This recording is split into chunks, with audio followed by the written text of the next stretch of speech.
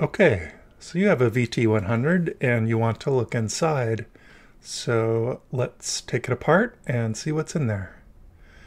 In the keyboard, there are no screws to open it. You just use the included guitar picks to pry open the case. And then inside you'll find several layers. There is a custom PCB. On the back is a Teensy 4.1. There's a little daughter board on top that has the LEDs on top. And there is a couple other layers. There's a little rubbery layer. There's a layer that has all of the keycaps in it.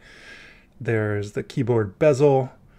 And together you can see that's all the layers. So let's start. That little area where I was pointing is where you will find your haptic motor glued in. This is a prototype, so it's not glued in, but yours will be glued into the case there. So when you're taking it apart, be careful. And when you're putting it back together, be sure that the wires for the haptic motor are out of the way and that the PCB is seated nicely next to the case.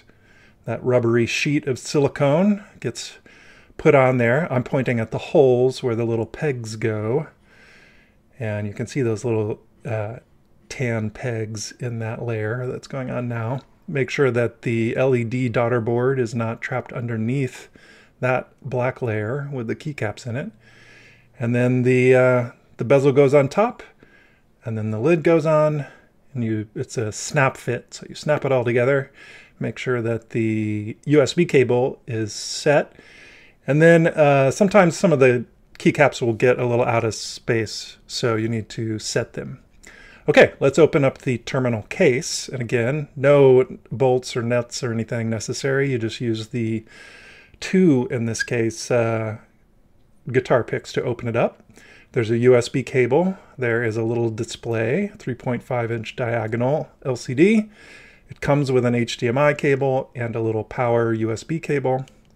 And there is an audio uh, jack and there's also a um, connector if you want to put a USB, I mean, want to put a Raspberry Pi directly on it.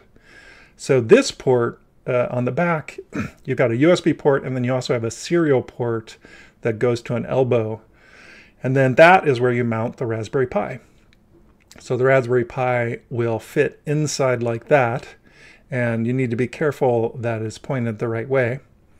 So let's take out the little bracket that holds the Raspberry Pi or whatever small board computer you want to use. These are 2.5 uh, M nuts inside that little bracket. And so you just use any 2.5 uh, M screws to connect your small board computer.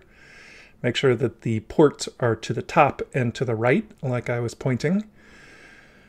So that is the pass through to the back port. That's where the keyboard will be plugged in.